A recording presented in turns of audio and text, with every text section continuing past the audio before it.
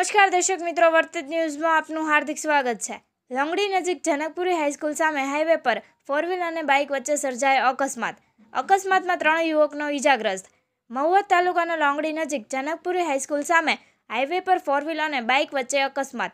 પરમાર લાલજીભાઈ ધીરાભાઈ, પરમાર પરેશભાઈ અને પરમાર વિંતુભાઈ અકસ્માતમાં ઈજાગ્રસ્ત યુવકો.